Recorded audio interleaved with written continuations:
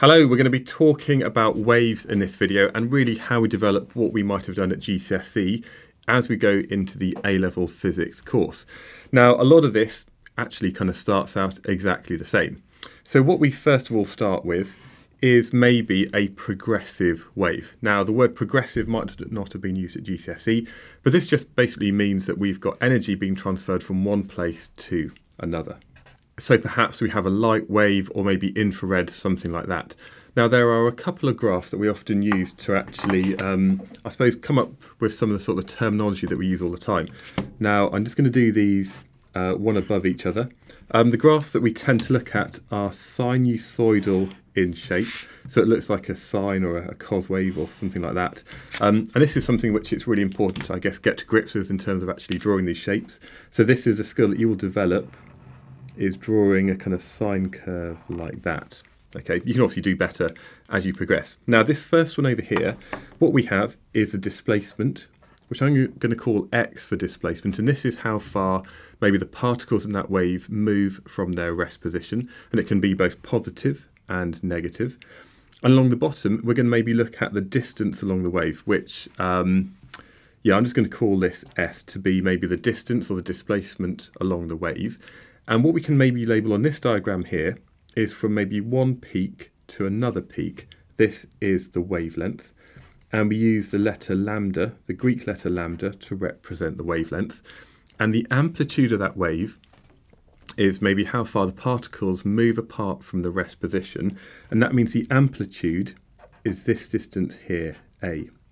Okay, so we've got a displacement, so it could be positive or negative and have any value up to the amplitude, which is the maximum value. So that's just some, some of the basics there. Now the other graph that we could draw, um, I was going to use a different colour for this uh, to show it's actually a different graph. So maybe here we have um, the same wave, but what we could look at is the displacement and how that varies with time. So this is maybe one particular particle and how that displacement goes from positive to negative over a period of time. And here, if we were to look at one wave cycle, and again, you can go from peak to peak, uh, you can go trough to trough, or this point to any subsequent point one wave cycle later. This distance here, I'm going to call capital T, and that capital T stands for the time period of the wave. And actually, this is the kind of thing that you might see on an oscilloscope. If you actually look at the trace of that, we've got the time base going across the waves.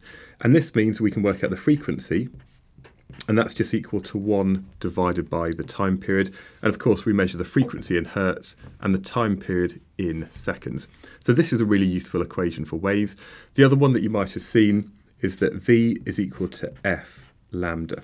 So here that wave speed, and sometimes we use the letter c to represent the wave speed. So sometimes we use c, sometimes we use v. Again, it depends on the context in the actual course you're doing at A level. Um, so both of these say that the frequency times the wavelength is equal to the speed of that wave. Now, that's all good if we have a progressive wave. And the two main categories that we have include waves like this and waves like this.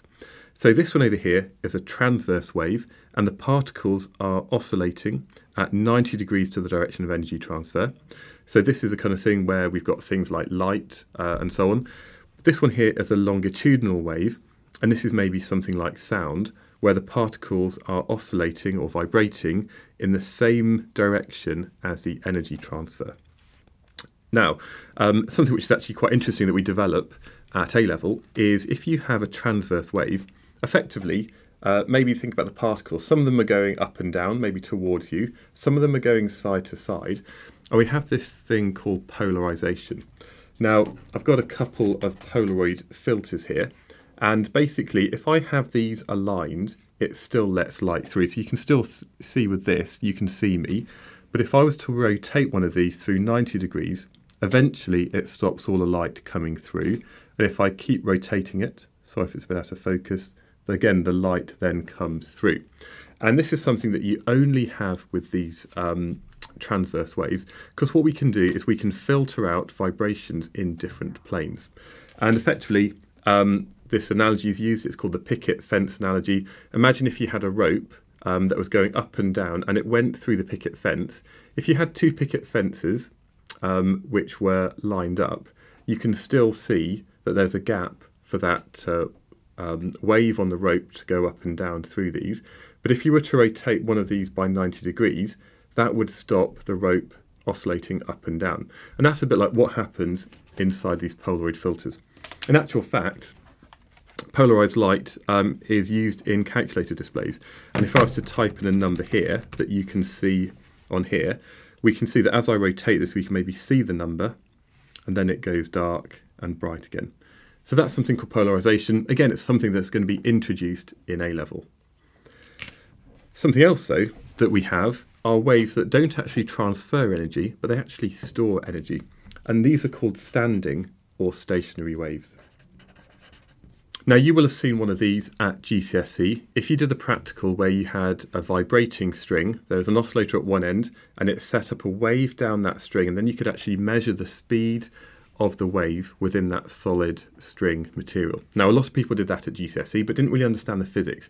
Effectively, if you have a wave, a progressive wave that moves along, it bounces back and then it interferes with another wave coming in the opposite direction, what we set up is a standing wave. Now you might have something where maybe you've got a piece of string and what you see is the wave is going up and down, maybe between two fixed ends. And then a short amount of time later, that wave is in a different position. And we have positions where that wave doesn't appear to move. And these points are called nodes. And then you also have a point on that wave where we get the maximum displacement. And this point is called an antinode. And basically, um, we set up various fundamental or harmonic frequencies. So this is something we're going to develop. And basically the distance from a node to another node is equal to half the wavelength. And that's because if we think about it, a wave really goes up, down, and back again. And if we have a node, a node, and a node, these points where it's not moving, the distance from here to here is actually equal to half the wavelength. Now you might remember that from GCSE, but you might not have understood it. We can also set up these standing waves in tubes, um, and here you might have, um, you know, the example where you blow over the top of a, a, milk bottle. Well, in the olden days, people had milk bottles, and you could blow over the top, and you hear that note. Um, it's also a bit like why you hear sometimes this really kind of weird throbbing sound if you're in a car and you maybe put down the rear windows of that car, you can hear this kind of sort of sound if you're sat in the front, and that's because we set up a standing wave inside that. Now, something else that we can look at is the way that waves interact. We might think about reflection, which isn't really discussed too much at A level. We also have refraction.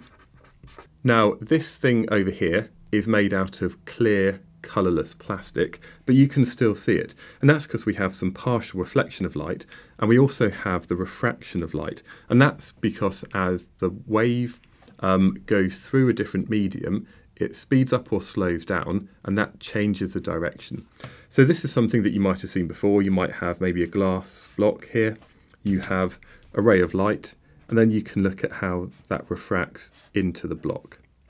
Okay, now it might be before you might have just said, well, we've got things like the, the normal line here, we've got the angle of incidence and refraction, but we take it a stage further at A level and we actually do some calculations. We can actually calculate the refractive index, which we use uh, the letter N for, and this tells us how much that wave, or the light in this case, would slow down. So there's a few more calculations, and it might only be if you did the Edexcel iGCSE that you actually had to do calculations at GCSE level. But again, I've got videos that explain that at GCSE and also going into A level. Something else which is really important that's not really covered much is something called diffraction. Now, effectively, if we have a little gap, and so this is a gap over here, and maybe now we're going to be looking at the wave fronts that approach it, when the wave goes through the gap, it spreads out. And this is what we call diffraction. Now, that's fair enough. You might see it uh, in pictures of harbours with uh, waves which kind of spread out when they go through a gap. It's how sound wave can travel around maybe the gap in a door so you can hear people outside even if you can't see them. But what gets really interesting is if we had maybe two gaps which were next to each other. I'm going to continue these wavefronts down here and then we had the light coming around here. What we then get over here is the waves coming from this gap interfering with the waves from there. And what we can now look at is something called interference. And sometimes we look at the interference between um, the two gaps here, and there's equations where we can actually look at the interference pattern produced, because effectively over here, sometimes the light may be, um, the light adds together and we get a bright spot, and sometimes we get the waves actually cancelling each other out and light cancels other light and we get like a gap on the screen. We can also, I guess, continue it even more and think about, well, what would happen if we had many, many gaps? Okay, and again, if we kind of continue this wave down here, then we get lots and lots of interference. And what we then get is something called a diffraction grating rather than just a double slit. And then we have the interference of light going through a diffraction grating. And again, there are equations that we can use. Uh, and this is actually how we can measure light, the wavelength of light in the school lab. If you have a red laser, we can actually take some measurements, you know, with a meter ruler and a, a normal kind of 30 centimeter ruler to actually calculate the wavelength of that light. So this thing over here is where we kind of do spend a lot of time looking at the interference between different waves, especially when we have diffraction gratings and double slits. So that is just a bit of an introduction about the things that will be coming up as you do A-level physics and you look at waves.